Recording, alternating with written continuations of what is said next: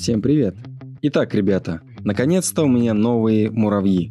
В этом выпуске я покажу вам своих компонотус туркистанус и расскажу, как начать ухаживать за вашей муравьиной семьей с первых шагов, чтобы она развивалась стабильно и по максимуму беспроблемно.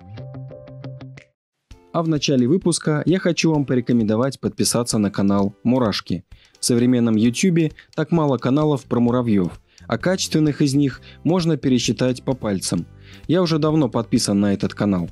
У автора мурашек просто гигантская коллекция экзотических муравьев. И не только. Качество роликов и увлекательные рассказы этого кипера приковывают меня к экрану, и я от начала до конца смотрю все его видео. В общем, ставьте паузу, переходите по ссылке в описании и подписывайтесь на топовый контент. Итак, ребята, я начинаю восстанавливаться и пополнять свои ряды новыми видами. Конечно, по возможности это будут те виды, которые я еще не содержал, но это не точно. В первую очередь я постарался забрать с передержки своих пробковых муравьев, но они уже были мертвы. Поэтому решил приобрести новую колонию – Колобопсисов мне найти пока не удалось, и я взял компонотус туркистанус. Скажу я вам, что мне крайне непривычно было жить без этих маленьких домашних животных. Вообще зимой проблематично искать каких-либо муравьев в продаже, но благо в Москве всегда можно найти интересные виды, даже в зимний период. Не только жнецов. Почему же именно компонотус? Это одни из самых неприхотливых муравьев. А почему именно туркистанусы? Давненько я хотел их приобрести, но никак не доходили руки. В первую очередь, мне они нравятся внешне, по своему очень красивому окрасу. Посмотрите на этих милах. Такие светленькие, нежно-желтые, с черными, как бусинки, глазками.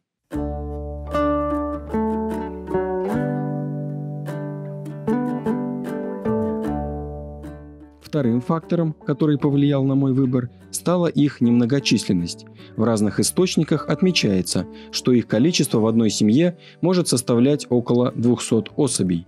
Очень удобная численность. Но здесь мы должны все проверить на практике. Как-то не совсем мне пока что хочется отдавать под семью муравьев целую полку на своем стеллаже. В этом выпуске я не буду давать большую развернутую справку о туркестанусах – о них написано много статей, откуда вы можете подчеркнуть всю интересующую для вас информацию. Давайте остановимся на том, что нам делать с муравьями, которых нам только что прислали из магазина, и как за ними ухаживать, чтобы семья хорошо развивалась. Итак, как я уже говорил, я приобрел колонию Camponotus turkestanus. И я реально офигел от их красоты. Может от того, что мне давно не было муравьев? Хотя думаю, что и да, и нет. Они очень красивые и милые. Прям ностальгия Палазиус Флаус какая-то.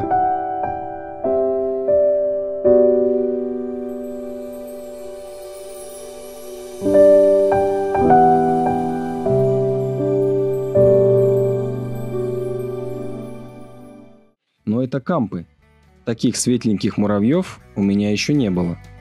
Что же с ними делать? Во-первых, посмотреть вообще живы они или нет – Необходимо убедиться, что матка имеет все лапы, усики и у нее нет вмятин в теле.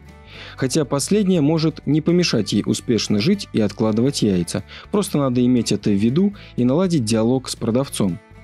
Посчитайте рабочих и проверьте наличие яиц, личинок и коконов. Если нет расплода, то уточните, диапауза это или нет. Или может быть он был съеден при транспортировке. Были ли вообще яйца у этой семьи?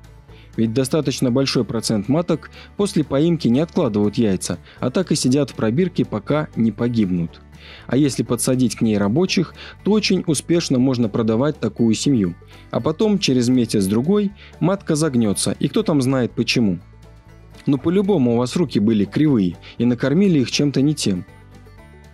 Это важный момент. Посмотрите на пробирку.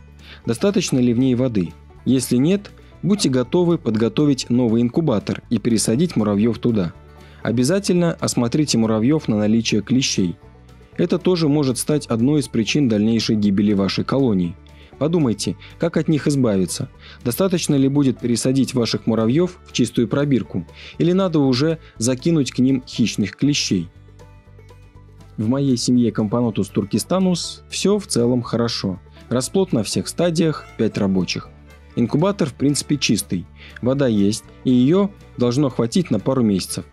Можно даже на первых порах вести учет количества яиц, личинок и коконов, чтобы понимать динамику развития вашей семьи. Теперь можно покормить ваших питомцев. Дорога была длинной, и муравьи истощены и хотят есть. Я надеюсь, вы изучили рацион питания ваших питомцев и знаете, что им можно давать. Для своих красавцев я подготовил сахарный сироп в концентрации 1 часть сахара на 1 часть воды. Муравьи охотно подкрепились углеводной пищей и даже поизучали мой стол, в то время как я открывал ватку, несколько рабочих очень смело ползали по столу. Все они были успешно возвращены в инкубатор. Меня немного на самом деле удивило, что в этой семье пять рабочих, а они так активно и бесстрашно начали выползать из пробирки. Ну, посмотрим, что с этой семьей будет дальше. Теперь самое время дать муравьям отдохнуть. Оптимально поместить их в темное место и держать их там хотя бы дней 7.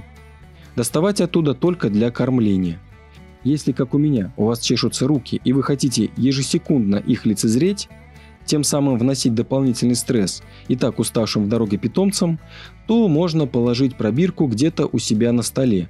Только учтите, что не надо брать пробирку постоянно в руки и крутить ее, наблюдая, как в этой веселой карусели матка и рабочий вертятся вверх ногами, отчаянно пытаясь перевернуться. Пусть инкубатор лучше лежит неподвижно – на него не светит очень яркий свет, и вы спокойно можете наблюдать за своими новыми питомцами, не причиняя им большого дискомфорта. Про питание углеводами я вам сказал, но не надо забывать про белковую пищу. Без этого ваша семья не будет полноценно развиваться. Белок очень необходим личинкам для роста. Поэтому на следующий день я решил дать туркистанусам белок в виде кусочка таракана. Именно кусочка – не надо причинять повышенный стресс вашим малькам и засовывать гигантского таракана к ним в инкубатор. Еще неизвестно, кто там кого съест. Я, например, дал своим кампам небольшую часть туркменского таракана. Живой белок, он и в Африке живой белок. Муравьи, обнаружив такой кусманище таракана, начали его атаковать и попрыскивать из своих брюшков кислотой. Ну а затем стали активно его поедать, получая столь необходимые питательные элементы.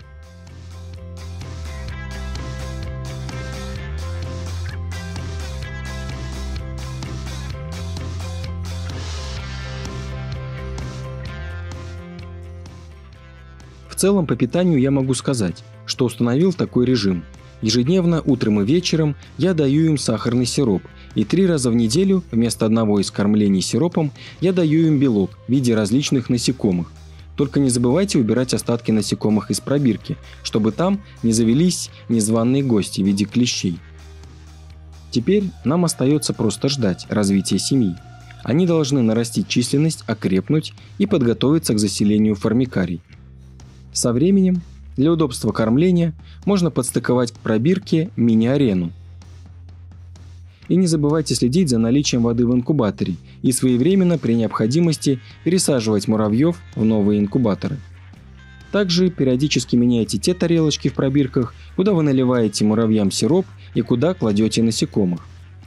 Что касается этой семьи Camponotus turkestanus, то я хочу заселить их в бывший формикарий Colobopsis truncatus – но это не точно. Я чувствую, что колобков мне придется искать долго, как минимум до лета. Пока они раскачаются, в общем, буду потом для них делать что-то другое. Этот же формикарий придется немного модернизировать, вырезать побольше вход и ходы. А то эта прекрасная королева не пройдет в свои покои и застрянет, как мультики про Винни-Пуха и Пятачка.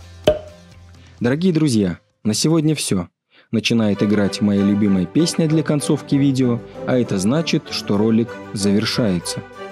Обязательно не забудьте подписаться на канал, поставить лайк и написать комментарий. Это поможет развиваться моему каналу. Должны же мы набрать 30 тысяч подписчиков к лету. Да, и не забудьте подписаться на канал Мурашки. Ссылка также в описании и появится в конце ролика на экране. До встречи, всем пока! Thank you.